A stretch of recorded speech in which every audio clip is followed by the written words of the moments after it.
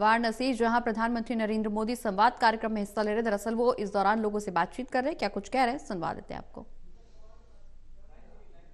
दवा चल रहा है ना अभी तो तीन ही महीना हुआ तीन महीना दस रोज। हाँ और आपको विश्वास है कि ठीक हो जाएगा? हाँ तो अभी तो मेडिसिन चल रहा है ना सर तो डॉक्टर ने जो बताया है एक्सरसाइज करने के लिए अभी एक्सरसाइज के लिए नहीं बोले हैं डॉक्टर नहीं बोले हैं। बोले कि अभी दो महीने तक दवाई खाओ अभी सर्दी में पेन होगा दर्द होगा। हाँ। दो महीने तक दवाई खाओ इसके बाद एक्सरसाइज बताएँगे। तो आपको कोई खर्चा हुआ क्या? नहीं नहीं निःशुल्क कोई। सर और अभी दवाई कहाँ से लेते हो? दवाई तो लेते हैं हॉस्पिटल से। नहीं जन औषधि केंद्र से दवाई बहुत सस्ते में मिलती है पता है? नहीं वहाँ से मैं नहीं लेता हूँ। हाँ तो जन औषधि केंद्र में सौ रुपये की दवाई बीस रुपये में मिल जाती है। सबको बताना चाहिए। तो गरीब का परिवार का अगर सौ रुपये की दवा लानी है तो अस्सी रुपया बच जाता है। ठीक है सर तो ये सबको समझाइए। आपके गाँव में आपने और लोगों के आयुष्मान कार्ड बनवाए क्या? हाँ सर बनवा हूँ दस पंद्रह लोगों को बनवा हूँ और लोगों को बनवाने के लिए मैं बोल रहा हूँ। कि जल्द से जल्द अपना बनवा ले ताकि उसका लाभ ज़रूरत पड़े पे उठा ले। और किसी को अभी मदद पहुँची हो ऐसा कोई और साथी जिसको जानते हो आप? नहीं नहीं अभी तो उसका लाभ उठाने वाला भी कोई नहीं है अच्छा। प्रेजेंट टाइम में। तो अभी अभी आयुष्मान कार्ड आपने ट्रीटमेंट करवाया। हाँ सर। तो डॉक्टरों का ऐसा तो नहीं था ना ये मोदी जी का आदमी है। चलो जाओ है जल्दी जल्दी वैसे ही करके फेंक दो। ऐसा नहीं, तो नहीं। नहीं किया ना? नहीं नहीं सर। उन्होंने मुझे दो सितंबर को एडमिट किया। चार तारीख को मेरा अप्रूवल आया। हम्म, फिर उसके बाद रात में चार तारीख को ही कैंसिल हो गया अप्रूवल मेरा। उन्होंने रोक लिया। उन्होंने रोक लिया बोले कि मैं कोशिश कर रहा हूँ दोबारा अप्रूवल आएगा तब मैं ऑपरेशन करूँगा क्योंकि ये सरकारी काम है। जब तक अप्रूवल आएगा नहीं तब तक मैं हाथ नहीं लगाऊँगा। हम्म, फिर छह तारीख को अप्रूवल आया तो उन्होंने मेरा आठ तारीख को ऑपरेशन किया। हम्म। और आपके परिवार को विश्वास हो गया कि मुफ़्त में होगा लेकिन फिर भी अच्छा होगा। टांग काट नहीं लेंगे ऐसा तो हुआ ना? हाँ सर विश्वास हो गया। है? हाँ। तो आपको संतोष है? हाँ हाँ मुझे संतोष है। तभी ना मैं इतना दूर चल के आया हूँ। तो आगे क्या करोगे छन्नूलाल आगे तो अभी अब ठीक हो जाएँगे। अभी तो आठ महीने से घर पर ही है ना सर। अभी तो दवा ही खा रहे हैं। जब ठीक होंगे तो फिर सोचेंगे ना। सोचना तो शुरू करो। अरे पहले ठीक तो हो जाए। अरे चोट तो पैर को आई है दिमाग को थोड़ी आई है। अरे सर मैं अपने घर पे आप जहाँ पे बैठे हैं उतना दूर भी चल नहीं पाता।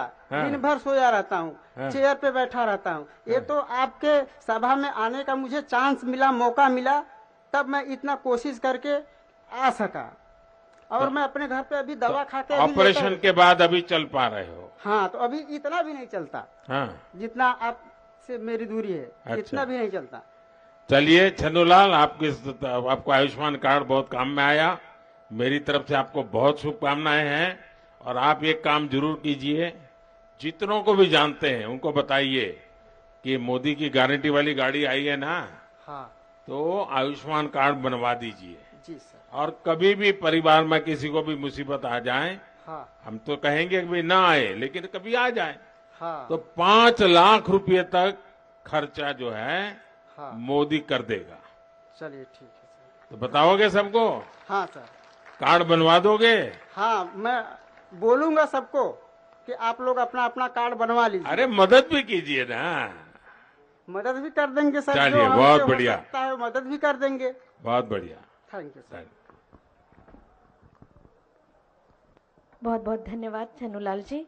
अब इस कार्यक्रम की अंतिम कड़ी में बारी है सम्मान की। मैं हमारे माननीय प्रधानमंत्री जी से सादर अनुरोध करूँगी कि आप मंच पर आएँ और लखपति महिला श्रीमती चंदा देवी जी को सम्मानित करें। और ये एक सुंदर अवसर है, अद्भुत अवसर है कि आप हमारे बीच सभी को आशीर्वाद देने के लिए उपस्थित हुए हैं। श्रीमती चंदा देवी जी।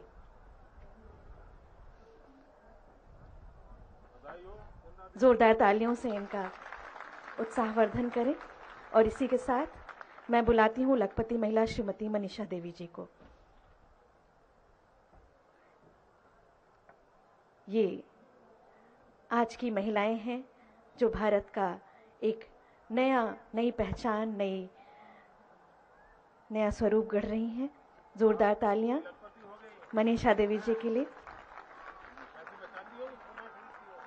और इसके पश्चात निपुण दक्षता हासिल करने वाले छात्र श्री सिद्धार्थ जी को मैं मंच पर आमंत्रित करती हूँ।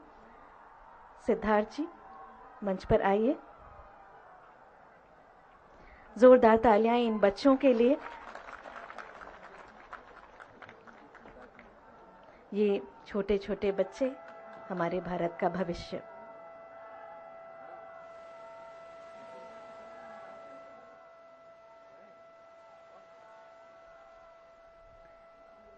अपने तालियों से इन बच, इस बच्चे को आशीर्वाद दीजिए सिद्धार्थ को आशीर्वाद दीजिए। और इसके बाद मैं निपुण छात्रा सुश्री आस्था को मंच पर बुलाती हूँ। ये छात्रा निपुण दक्षता हासिल कर चुकी हैं।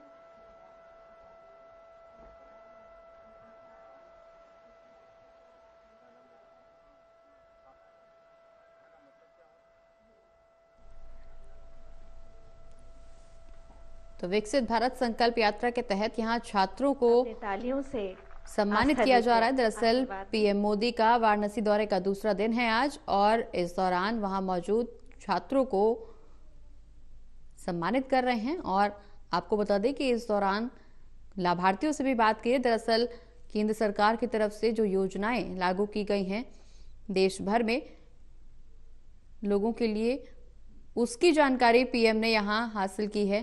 लाभार्थियों से जनसंवाद कार्यक्रम के दौरान तमाम लाभार्थियों से बातचीत भी की और आयुष्मान कार्ड जिन लोगों का नहीं बना है, वो बनवाने की अपील भी पीएम मोदी की तरफ़ से की गई।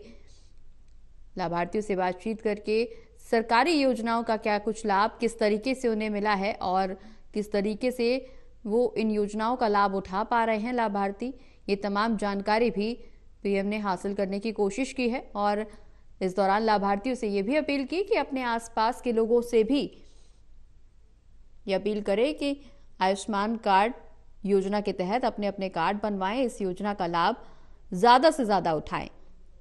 और अब पीएम मोदी यहाँ मौजूद छात्रों को सम्मानित करते हुए भी नज़र आ रहे हैं। ये तस्वीरें आपकी टीवी स्क्रीन पर सीधे वाराणसी से बता दें कि पीएम मोदी वाराणसी के दो दिवसीय दौरे पर हैं और इस दौरान उन्होंने कई करोड़ की परियोजनाओं की सौगात जनता को सौंपी है। साथ ही स्वरवेद महामंदिर का उद्घाटन भी पीएम मोदी की तरफ़ से किया गया। दरअसल दो दिवस में चार कार्यक्रम प्रस्तावित थे। प्रधानमंत्री नरेंद्र मोदी के कल दो कार्यक्रमों में उन्होंने हिस्सा लिया। वहीं आज भी उनके कार्यक्रमों की कतार लगी हुई है। सुबह में एक तरफ़, जहाँ प्रधानमंत्री नरेंद्र मोदी ने स्वरवेद महामंदिर का उद्घाटन किया, वहीं अब विकसित भारत संकल्प यात्रा के तहत लाभार्थियों से बातचीत भी की। ये तस्वीरें आपकी टीवी स्क्रीन पर, जहाँ पीएम मोदी खुद जनता के बीच पहुँचे हैं और जनता से किस तरह से तमाम योजनाओं का लाभ जन तक पहुँच रहा है, जन जन तक पहुँच रहा है, उसकी जानकारी लेते हुए वो नज़र आ रहे हैं। साथ ही आयुष्मान कार्ड, चिरायु कार्ड और तमाम योजनाओं का लाभ किस तरह से जनता ले पा रही है? मोदी की गारंटी वाली गाड़ी घर घर तक पहुँच रही है या नहीं? या इस गाड़ी से जनता को क्या कुछ लाभ हो रहा है? किस तरह से, कितनी आसानी से सरकारी योजनाओं का लाभ जनता उठा सकती है?